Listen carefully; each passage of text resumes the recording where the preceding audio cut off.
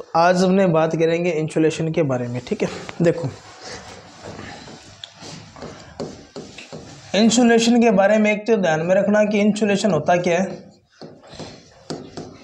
हिंदी में इसको बोलेंगे विद्युत रोधन नाम से पता चल गया। विद्युत रोधन यानी कि विद्युत का जो रोध प्रकट करेगा, विद्युत के मार्ग में या विद्युत का जो विरोध करेगा, वो विद्युत रोधी पदार्थ होगा। इंसुलेटिंग मटेरियल होगा। पहली चीज़ तो ध्यान में रखना। अब तुम्हारे पास मान लेते हैं केबल है।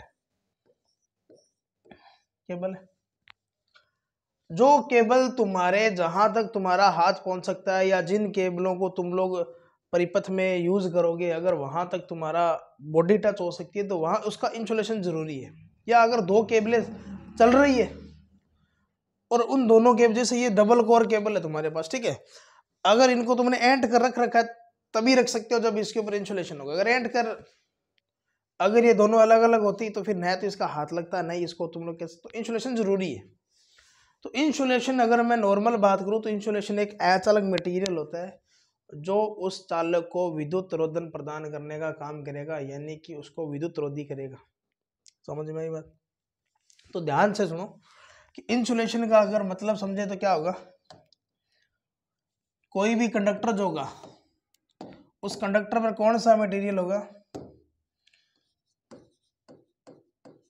हिंदी में इसको विद्युत रोधन बोलेंगे, ठीक है? तो इंसुलेशन कौन सा होगा एक चालक जो होगा एक चालक पर एक अचालक क्या होगी? परत। कोई भी कंडक्टर होगा, उसके ऊपर तुमने इंसुलेशन कर दिया, वो तुम्हारा कौन सा हो जाएगा? वो उसके ऊपर एक अचालक परत बना दी, वो क्या हो जाएगी? इंसुलेशन हो गया। अब सोच के मेरे को बताओ इंसुलेशन काम क्या करेगा। पहली चीज़ तो ध्यान में रखना, चालक को क्या करेगा? शॉर्ट होने से शॉर्ट होने से क्या करता है? बचाता है। समझ में आई? दूसरा काम क्या होगा? कि जो ऑपरेटर जो होगा ऑपरेटर कौन होंगे? तुम होंगे, मैं होगा, यही होगा। तो ऑपरेटर को विद्युत झटकों से क्या करेगा? तो प्रचालक बोलते हैं, हिंदी के अंदर ऑपरेटर को। तो प्रचालक को क्या करता है? विद्युत झटकों से क्या करता है? सुरक्षा प्रदान करेगा। ये होगा। तीसरा जो काम करेगा, वो काम कौन सा करेगा कि अगर इसकी बॉडी किसी चालक भाग के संपर्क में आएगी तो वो धारा को लीकेज करेगा। तो धारा लीकेज यानी कि धारा क्षरण को क्या करेगा? धारा लीकेज को क्या करते हैं? रोकता है। कितनी बात समझ में आएगी तो ये तो था तुम्हारा इंसुलेशन अब इंसुलेशन ये नहीं कि हर किसी का ही कर दोगे। ऐसा नहीं होगा। कुछ ना कुछ तो उसके अंदर गुण होने चाहिए। अब तुम्हारा पेपर होगा डीआरडीओ का तुम्हारे को सिलेक्ट करेंगे तो तुम्हारे के अंदर कोई डोल होगा तभी तो तुम्हारे का सिलेक्शन होगा। हिंदी या इंग्लिश आनी चाहिए मैथ आनी चाहिए कुछ ना कुछ तो होगा ही सिस्टम तभी तो उन्होंने पेपर में चार सब्जेक्ट रखे। समझ में आई? तो अब यहाँ से एक सवाल बनता है कि इंसुलेटिंग मटेरियल में क्या क्या गुण होने आवश्यक है? बता दो कौन कौन से चाहिए? विद्युत। रोधी पदार्थों के में गुण। तो पहला तो सबसे जो इम्पोर्टेंट चीज़ है कि अपने यूज़ क्या कर रहे हैं इंसुलेशन प्रदान करने के लिए जो इंसुलेशन जो प्रदान करोगे तो उसकी जो इंसुलेशन प्रतिरोध होगा डाई इलेक्ट्रिक स्ट्रेंथ होगी, वो क्या होनी चाहिए? ज़्यादा। तो ध्यान में रखना क्या होना चाहिए? उच्च dielectric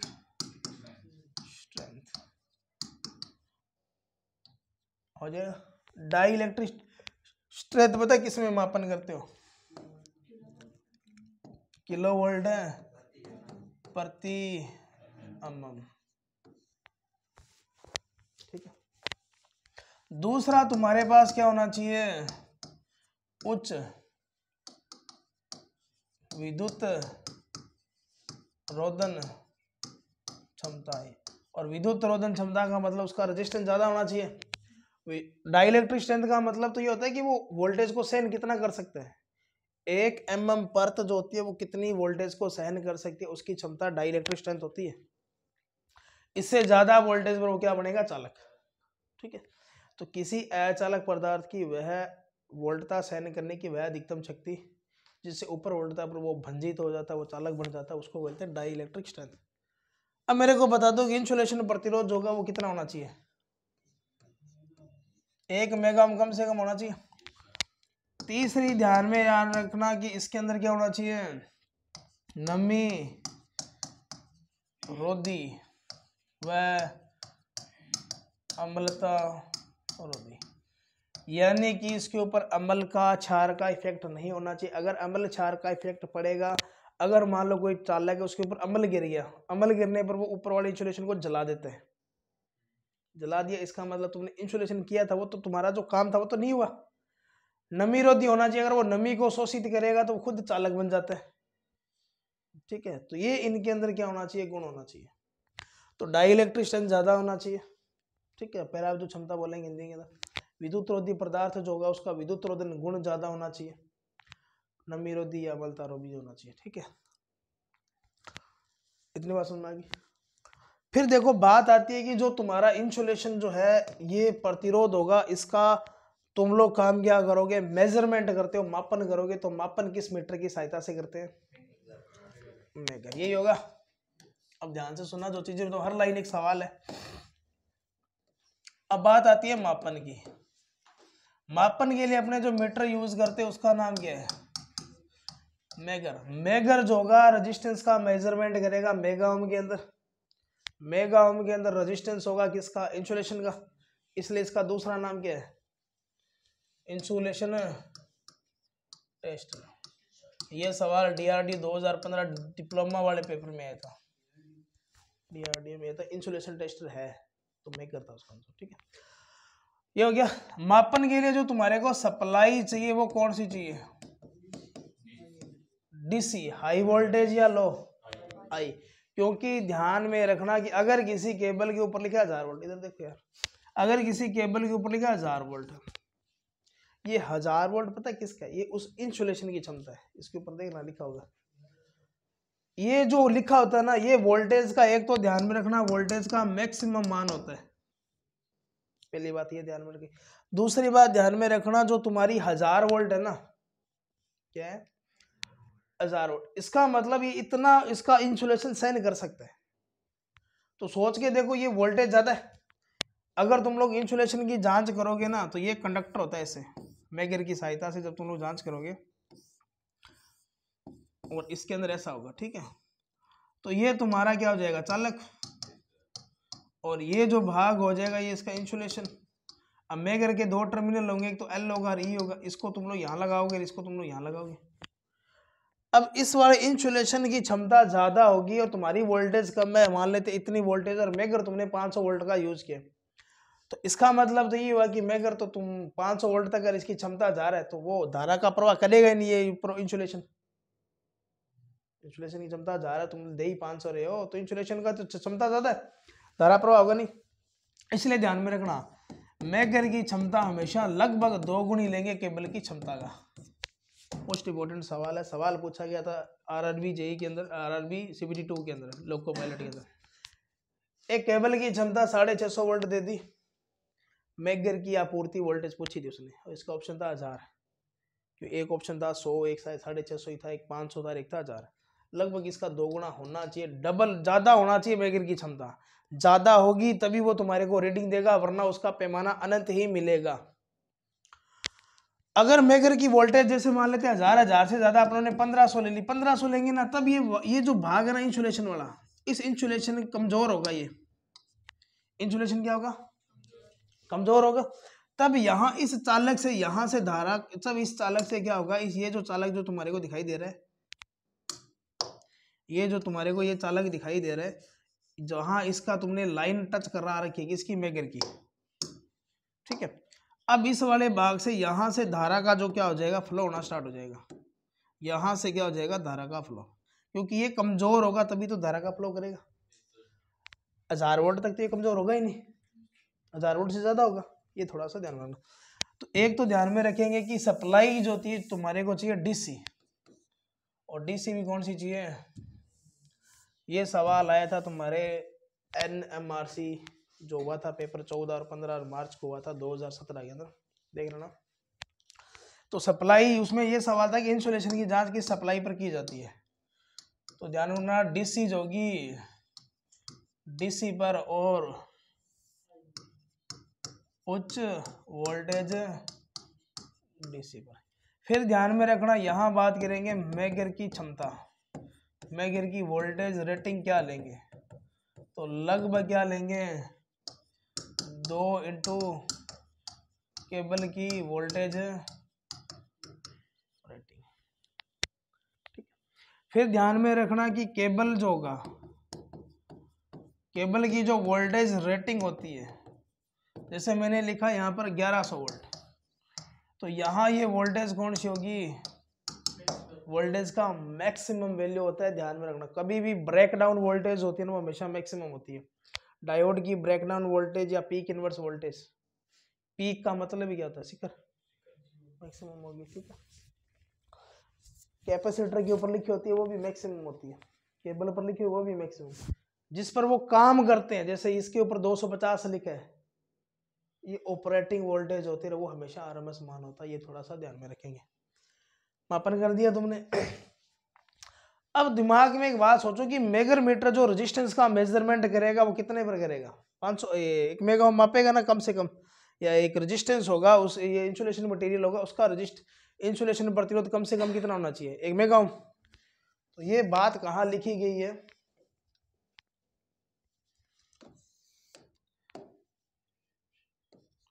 Indian electricity rule इकसठ वन के अंदर ये बात लिखी गई है। क्या बात लिखी है? कि इंसुलेशन प्रतिरोध न्यूनतम कितना होना चाहिए? एक मेगा ओम होना चाहिए। ठीक है। दिल्ली मेट्रो अठारह तारीख वाला पेपर देखना 2020 का। और पेपरों में बहुत पेपरों में अभी जो पीएचडी का पेपर हुआ था 20 तारीख को 20 मई को, उसका भी देखना। उसके अंदर भी ये सवाल था, ऐसा करें कुछ। अब बात करेंगे इंसुलेशन प्रतिरोध की गणना कि तुम्हारा जो इंसुलेशन का जो रेजिस्टेंस है, उसका गणना जब अपने करेंगे तो किस तरीके से करेंगे? तो एक चीज़ मेरे को बता दो।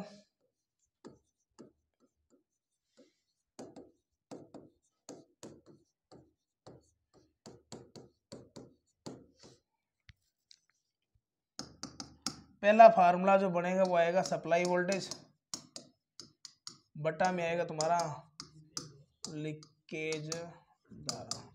क्योंकि आर जो होता है वी बटा में आई तो होता है। लेकिन ये धारा पता कौन सी लेंगे जो उस उस इंसुलेशन में से गुजर रही है। और इंसुलेशन में से जो गुजरेगी, उसको कौन सी धारा बोलोगे? Leakage current. Leakage current normally micro में होती है, ध्यान में रखना। अब ध्यान में रखना कि जो इंडियन इलेक्ट्रिसिटी रूल है रूल नंबर ये तुम्हारा है फोर्टी नाइन इस फोर्टी नाइन रूल के अनुसार जो लीकेज करंट होगा, वो एक बटा में पाँच हज़ार होगा फुल लोड करंट का। ठीक है, यही होगा। और ध्यान में रखना, अगर कोई भी उपभोग करता उपभोग करता मतलब अपने, अगर 48 घंटे के अंदर ये काम नहीं करते, इस लीकेज दोष को दूर नहीं करते तो कंपनी को ये अधिकार है कि वो अपना सप्लाई कनेक्शन काट से। ये 48 घंटे वाली लाइन याद रखना, दो दिन का टाइम मिलता है अपने को।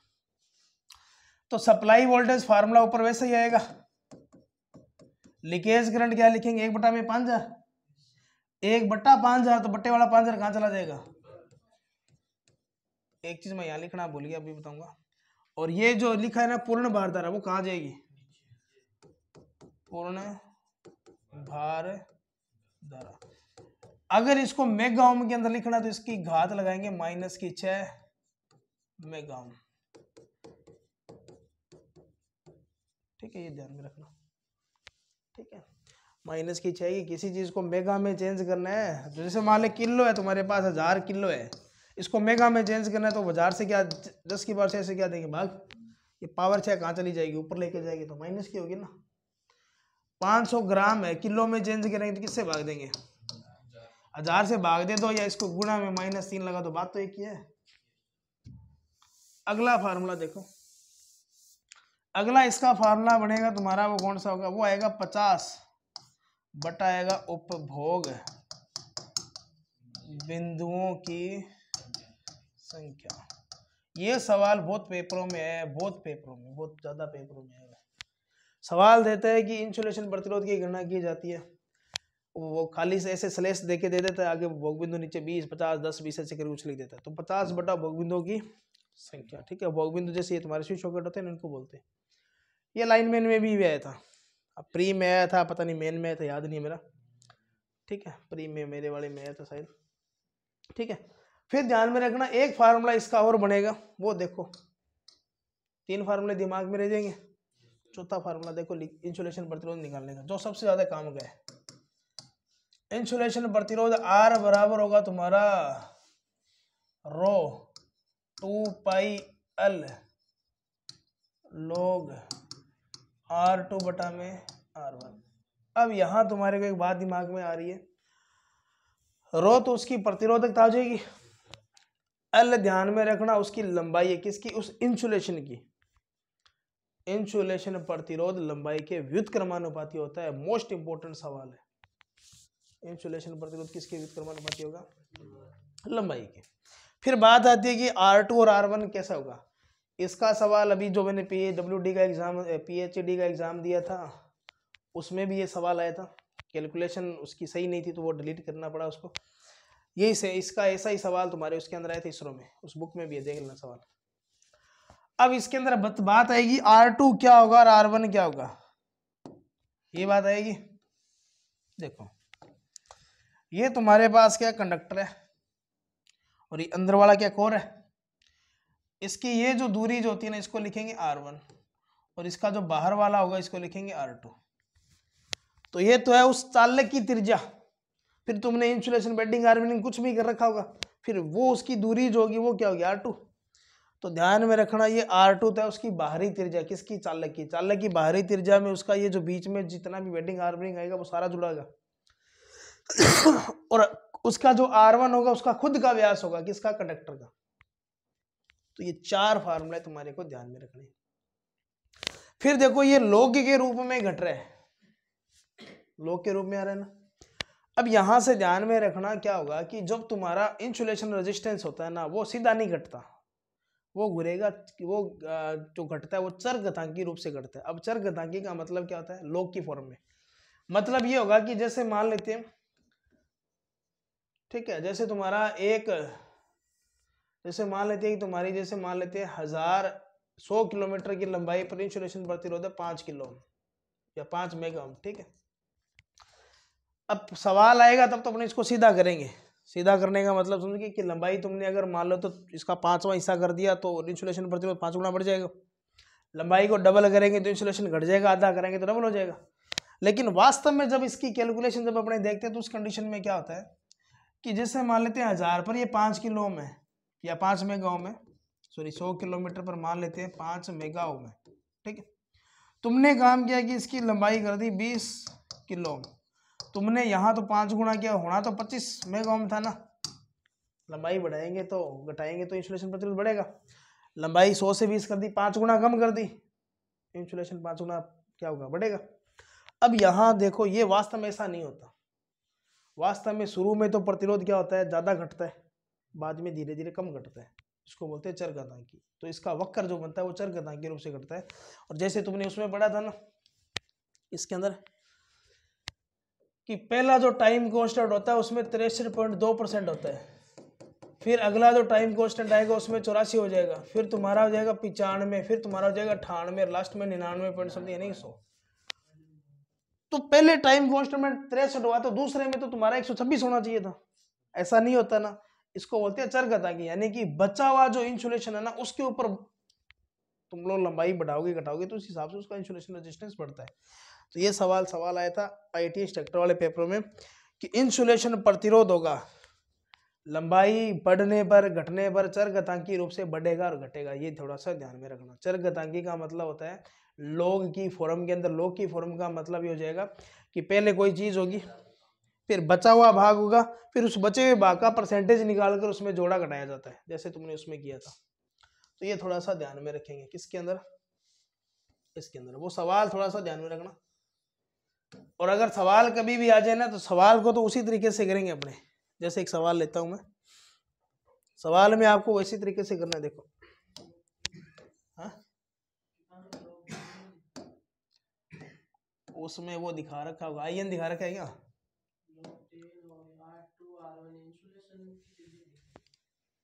हम्म जैसे ये है ना ये। ये आर वन तो इसका खुद का है, और ये आर टू जो होगा ना, इसके बाहर जो इंसुलेशन वगैरह जितना भी तुमने जो कर रखा है जुगाड़मेंट, वो है। वो सारा साथ आएगा। इंसुलेशन दे दिया या कोई बेडिंग आर्मिंग दिखा दी तो। इंसुलेशन इंसुलेशन नहीं है, वो कंडक्टर की खुद की त्रिज्या होगी। ठीक है? और आर टू जब लेंगे ना तो इसकी ये बाहरी त्रिज्या होगी जिसमें इसका चालक का भी आ जाएगा और उसका इंसुलेशन जो तुमने प्रदान किया वो आ जाएगा। दोनों का जोड़ है ये। कंडक्टर की त्रिज्या सवाल एक त्रिशूल वाली में दे रखा होगा वो देखना तुम करके। ठीक है? तो वो कंडक्टर की त्रिज्या आएगी पहले। ये आर वन है ना, इसमें क्या लिखा है? इंसुलेशन की त्रिज्या। और आर टू क्या लिखा है? इंसुलेशन वो टाइपिंग में गलती बड़ी है चेक नहीं किया या तो एक सवाल देखो। एक सवाल लिखो। एक किमी लंबे चालक का विद्युत रोधन प्रतिरोध?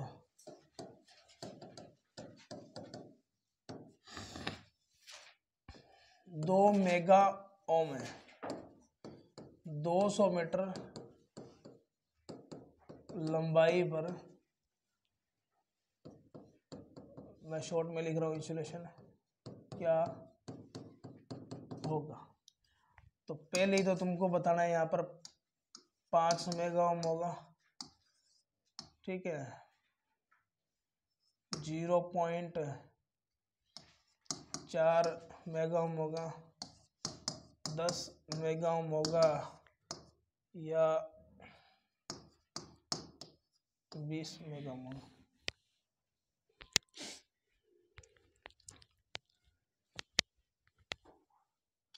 फिर एक लास्ट पॉइंट और बचेगा इंसुलेशन का वो बात करेंगे हम, ठीक है? हालाँकि देखो, वो इस फार्मूले पर सवाल आना बहुत कम चांसेस है। क्यों कम चांसेस है? इसके पीछे रीजन है कि क्योंकि तुम्हारे को जब तक वो लोग की वैल्यू नहीं देगा ना, तब तक तुम लोग सवाल का हल भी नहीं कर सकते। जैसे अभी जेई वाले पेपर में आया था, वो माथा फुड़ी कर तो ली, लेकिन उसमें लोग की वैल्यू नहीं मिल रही थी। लोग की अगर वैल्यू देता तो आंसर आ जाता। अब भेजूँगा एक सवाल, देखना। फिर उसको वो डिलीट करना पड़ा। तीन चार सवाल डिलीट हुए थे उसमें।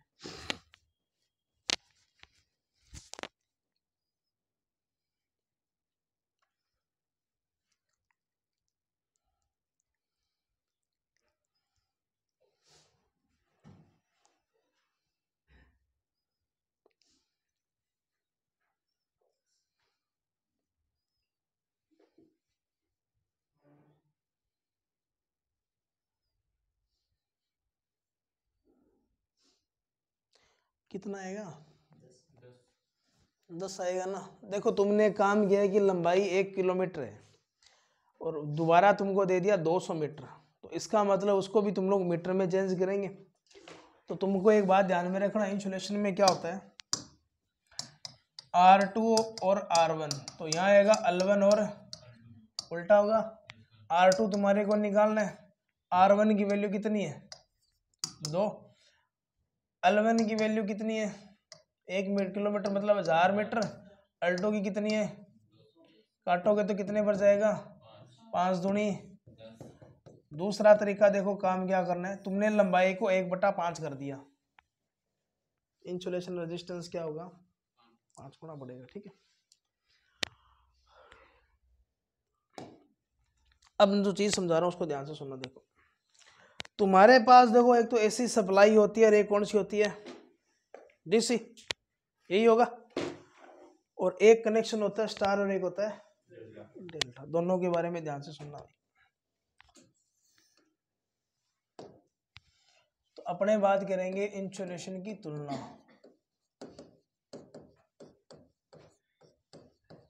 देखो एक बात मैंने बताई थी कि इंसुलेशन के ऊपर जो वोल्टेज लिखी होती है, वो हमेशा कौन सी होती है? अपने घरों में सप्लाई कौन सी आती है? आर एम एस आती है वो कौन सी होती है? साइन। हालाँकि तुम लोग वेव चेंज करोगे ना तो ये फार्मूला भी बदल जाएगा। ठीक है ना?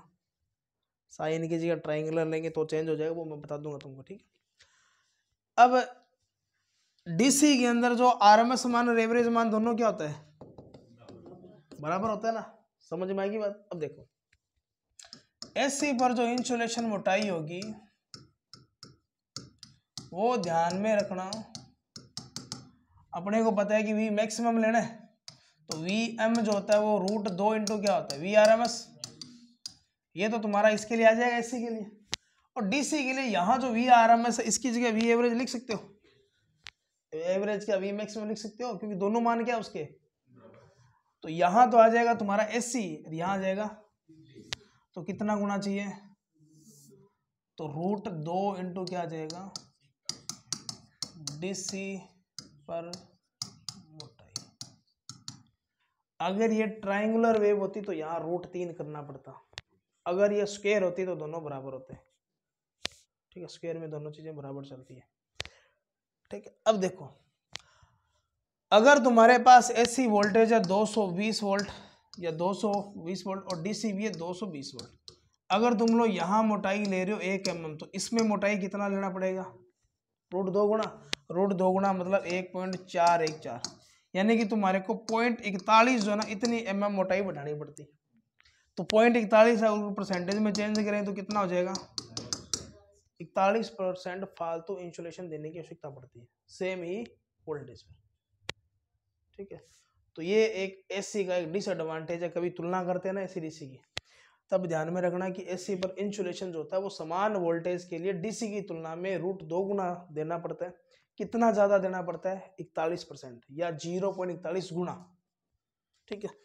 अगर ये तुम्हारे को एस डीसी का देके एससी का पूछे तो डीसी पर इंसुलेशन जो होगा तो ये रूट दो भाग में आएगा।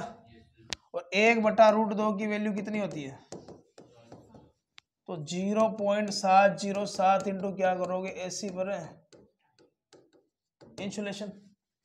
इसका मतलब अगर मैं इसको परसेंटेज में चेंज करूँगा तो कितना परसेंट आ जाएगा? सत्तर। सत्तर परसेंट आ जाएगा।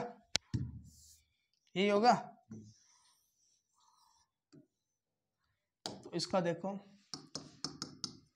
एसी पर जो इंसुलेशन की मोटाई होगी, इसका करेंगे तो एक पॉइंट चार, एक चार इंटू क्या आएगा डीसी पर मोटाई ये होगा।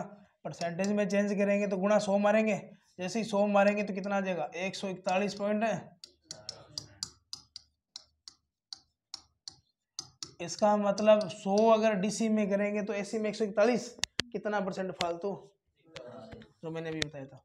इसी तरीके से डीसी पर जो इंसुलेशन तुम लोग दोगे, वो ध्यान में रखना, सत्तर पॉइंट सात परसेंट देना पड़ेगा किस पर? एसी पर इंसुलेशन का। इसका मतलब एसी पर तुम्हारे को ज़्यादा इंसुलेशन चाहिए और डीसी पर? जिस बंदे को ये बात समझ में आएगी, वो अब स्टार डेल्टा का भी बता देगा। समझ में आई बात? ठीक है, ये रूट दो गुना ये भाग में कैसे है, समझ में आएगी बात? अब देखो, अब अपने बात करेंगे स्टार डेल्टा की।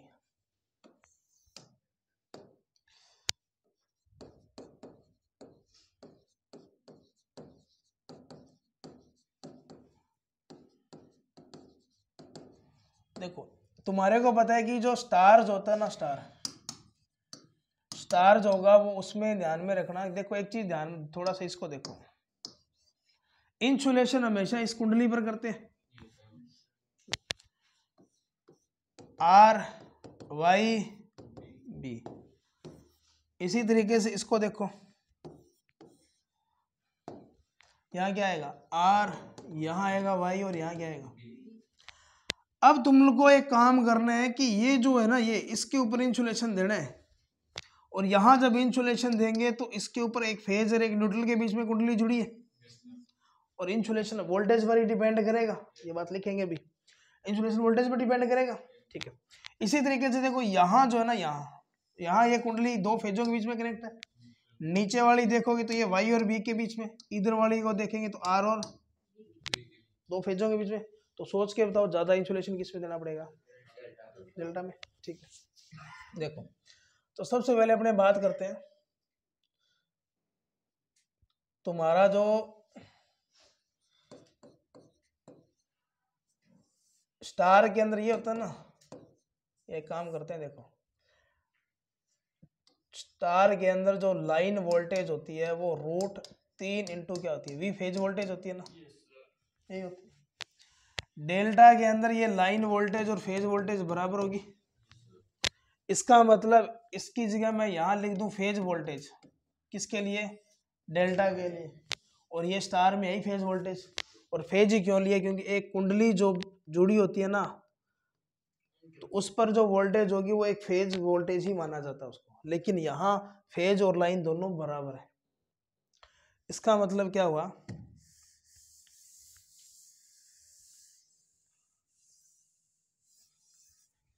कि तुम्हारा डेल्टा में जो इंसुलेशन होगा ना, डेल्टा में इंसुलेशन वो आएगा रूट तीन इंटू क्या आएगा? स्टार में इंसुलेशन दूसरी बात, अब देखो इसको तुम लोग करोगे। एक पॉइंट सात तीन दो इंटू क्या आएगा? स्टार में इंसुलेशन यहाँ मैं लिख देता हूँ डेल्टा के अंदर। कितना परसेंट ज़्यादा होगा? एक सौ तिहत्तर पॉइंट दो परसेंट, यानी कि तिहत्तर परसेंट ज़्यादा करना पड़ेगा इंसुलेशन, सेम ही लाइन वोल्टेज के लिए। अगर तुमको स्टार में चाहिए तो ये भाग में आएगा एक बटा रूट तीन। यही होगा। अगर इसको नीचे लेकर ये तो ये अगर इधर क्या बनेगा? एक बटा रूट तीन की वैल्यू पता क्या है? पाँच, सात सात इंटू ये आएगा। इसका मतलब यहाँ तुम लोग अगर निकालेंगे तो कितना आएगा? लगभग आधी मोटाई चाहिए तुम्हारे को। लगभग क्या चाहिए? आधी मोटाई। तो ये कंसेप्ट दिमाग में घुसा या नहीं घुसा? घुसा? तो कितना घुसा? पूरा घुसा। एक लाइन और लिखाऊँगा मैं, फिर इंसुलेशन ख़त्म हो जाएगा, फिर अपने बात करेंगे, देखो। सारा टॉपिक दोबारा रिवीजन मारेंगे। छोटा सा टॉपिक है, लेकिन सवाल बहुत काम के बनते हैं। एक तो ध्यान में रखना कि इंसुलेशन मोटाई किस बात पर निर्भर करती है? वोल्टेज पर क्या करती है? निर्भर, ठीक है। दूसरा ध्यान में रखना वोल्टेज का मान कौन सा होगा? मैक्सिमम ठीक है, ये थोड़ा सा ध्यान में रखेंगे। अब इस चीज़ को दोबारा समझो। जो चीज़ें तुमको मैं बताऊँगा, बस उस चीज़ को ध्यान में देखो इंसुलेशन क्या होगा? कोई कोई भी कंडक्टर मटेरियल जो होगा, उसके ऊपर तुम लोग क्या करोगे? अचालक परत करोगे। ठीक है? फिर तुम लोग काम क्या करोगे? उस अचालक जब तुमने इसको परत कर दी तो वो काम क्या करेगी? एक तो दो चालक जा रहे हैं, उनको शॉर्ट नहीं होने देगी। पहला। दूसरा, वो अगर किसी बॉडी के टच में आएगी तो उसको जीवित नहीं करेगी लीकेज नहीं करेगी करंट को। तीसरा, अपनी प्रोटेक्शन प्रदान करने का काम करेगी ऑपरेटर की सुरक्षा करेगी। फिर ध्यान में आता है कि इंसुलेशन प्रतिरोध का जब तुम लोग मापन करोगे, किससे करोगे? मेगर से। मेगर किसका मा, मेगर प्रतिरोध का मापन करेगा? मेगा में। इंसुलेशन का मापन कर रहा है तो इंसुलेशन टेस्टर बोलेंगे। इंसुलेशन की लंबाई जो होती है, या इंसुलेशन की मोटाई, लंबाई नहीं, मोटाई। किस बात पर डिपेंड करेगी? वोल्टेज पर। इंसुलेशन प्रतिरोध होगा, लंबाई के व्युत्क्रमानुपाती घटेगा, बढ़ेगा चर घतांकी रूप से, यानी कि लो की फॉर्म में घटेगा, ठीक है? फिर इसके फार्मूले सप्लाई वोल्टेज बटा लीकेज धारा। लीकेज धारा का फार्मूला रखेंगे तो ऊपर पाँच हज़ार गुना हो जाएगा, नीचे फुल लोड करंट आ जाएगा। फिर ध्यान में एक फार्मूला बढ़ेगा पचास बटा उपभोग बिंदुओं की संख्या। फिर फार्मूला बनेगा rho two pi L log R two बटा आर वन आर वन उसकी कंडक्टर की खुद की त्रिज्या आर टू जो होगा, उसकी त्रिज्या जो आएगी वो इंसुलेशन के साथ में आएगी, ठीक है? फिर ध्यान में रखना, कोई भी इंसुलेटिंग मटेरियल होगा, उसमें एक तो वो नमीरोधी होना चाहिए, अमल का अमल क्षार का प्रभाव नहीं होना चाहिए। डाइलेक्ट्रिक स्ट्रेंथ ज़्यादा होना चाहिए, ठीक है? और एक उसकी खुद की जो इंसुलेशन मटेरियल रेजिस्टेंस है, वो ज़्यादा होना चाहिए, ठीक है? ताप में सहन करने क्षमता वो भी ज़्यादा होना चाहिए।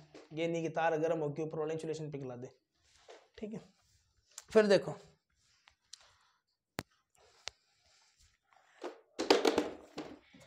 एक लिख ही देते हैं। उच्च।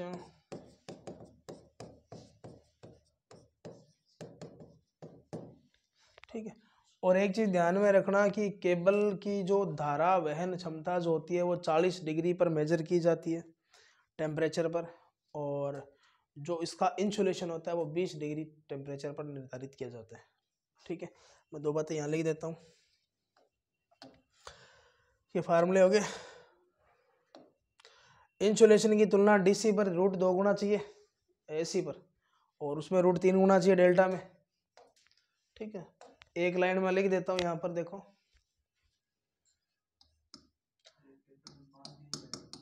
हाँ? पाँच? पाँच डिग्री क्या चीज़ है ये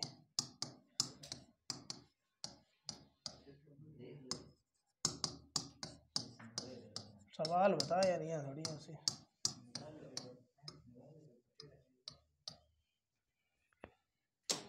सवाल कुछ अलग होगा, ठीक है? तो ये अपना इंसुलेशन का पार्ट था। मिलेंगे नेक्स्ट सेशन में। तब तक के लिए धन्यवाद। जय हिंद, जय भारत।